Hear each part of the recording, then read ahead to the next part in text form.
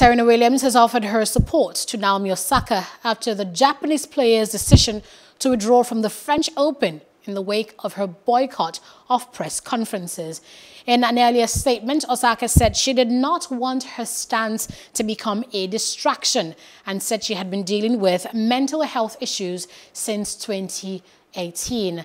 39-year-old Williams was asked for her reaction to Osaka's decision following her first round win over Romanian Irina Camelia Begu. Um, many, many of them I've been into where I've been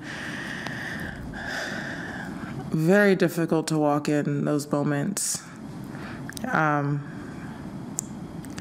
but you know, it made me stronger.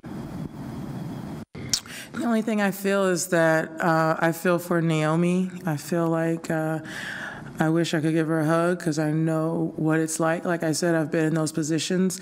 We have different personalities, um, and people are different. Not everyone is the same. Um, I'm thick, you know, other people are thin. So um, everyone is different and everyone handles things differently. So, you know, you just have to let her handle it the way she wants to in the best way that she thinks she can.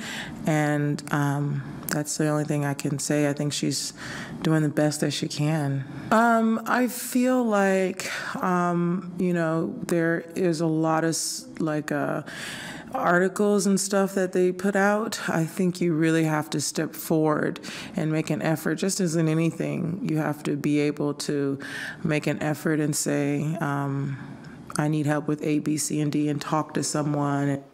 Hello. Hope you enjoyed the news. Please do subscribe to our YouTube channel and don't forget to hit the notification button so you get notified about fresh news updates.